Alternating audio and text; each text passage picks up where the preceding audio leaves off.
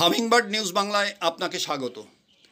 আজ এক অনুষ্ঠানের মধ্য দিয়ে প্রায় শতাধিক অ্যান্ড্রয়েড মোবাইল ফোন যেগুলি বিভিন্ন সময় বিভিন্ন মানুষের কাছ থেকে হারিয়ে গিয়েছিল, সেগুলি উদ্ধার করে মোবাইল প্রাপকদের হাতে তুলে দিলেন কৃষ্ণনগর পুলিশ জেলার সুপার ঈশানী পাল।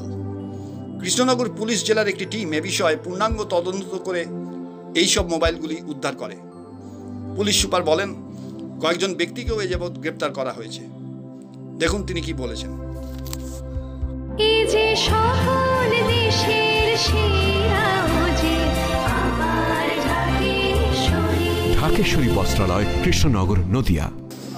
গত দু মাসে আমাদের এখানে কৃষ্ণনগর পিডিতে বিভিন্ন থানাতে যে মোবাইল আপনাদের হারিয়ে আপনারা যে কমপ্লেন করেছিলেন থানায় সেটা আমরা চেষ্টা করেছি তাদের বেশিরভাগ মোবাইল আমরা রিকভার করার চেষ্টা করেছি। আজকে আমরা একশো ষোলোটা মোবাইল গত ষোলোটা ষোলোটা সতেরোটা মোবাইল আমরা রিকভার করেছি এই গত দু মাসে। আজকে আমরা তাদেরকে তাদের ওনারদের হাতে ফিরিয়ে দিতে পেরে খুবই আনন্দিত বোধ করছি।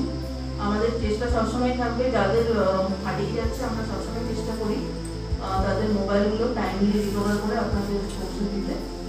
সেই জন্য আজকের এই অনুষ্ঠান. If you like this video, please subscribe, like and share. Hit the bell icon for upcoming events.